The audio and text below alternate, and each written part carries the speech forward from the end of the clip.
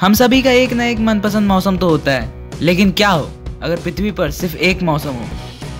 मौसम दरअसल पृथ्वी के टिल्ट होने के कारण होते हैं, यानी कि पृथ्वी के टेढ़े होने के कारण होते हैं। पृथ्वी का एक्सिस सीधा ना होकर 23.5 डिग्री टेढ़ा है, यानी कि टिल्ट है। और ये टिल्ट हर चालीस हज़ार साल में चेंज होता रहता है। साइंटिस्ट का मानना है कि पृथ्वी से एक मार्स साइज़ ऑब्जेक्ट के टकराने के कारण ये टिल्ट आया है।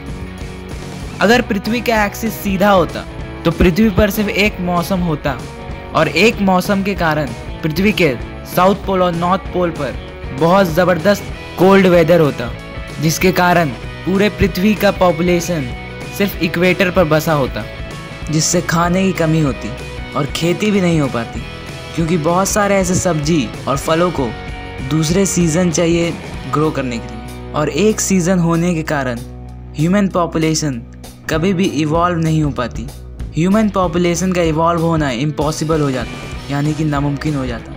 क्योंकि ह्यूमन पॉपुलेशन इवॉल्व नहीं हुई है तो हमारे पास मेडिसिन भी नहीं होती, इसलिए हम कीटाणु के लिए अति संवेदनशील होते हैं। सीज़न का चेंज ना होना सिर्फ़ हम इंसानों को ही प्रभावित नहीं करता, इससे जानवर भी प्रभावित होते हैं। एक सीज़न होने की वजह से कुछ जानवर सरवाइव नहीं कर पाते, और पूरा फ़ूड चेन प्रभावित होता। अगर पृथ्वी का एक्सिस सीधा होता टेढ़े होने के बजाय तो हमारी पृथ्वी आज की जैसी पृथ्वी नहीं होती।